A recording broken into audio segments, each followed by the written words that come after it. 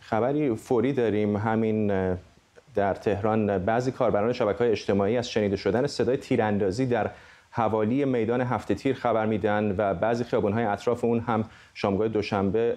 صدای تیر شنیده شده بر اساس این گزارش ها این صدای تیراندازی به مدت دست کم پنج دقیقه شنیده میشد هنوز نمیدونیم که دلیل این تیراندازی احتمالی چه بوده هدفش چه کسی بوده ولی با توجه به همین تحولاتی که این روزها در تهران داره اتفاق میفته از جمله آنچه که همکارم مراد ویسی هم گفت طبیعتا شنیده شدن همچین صدایی در تهران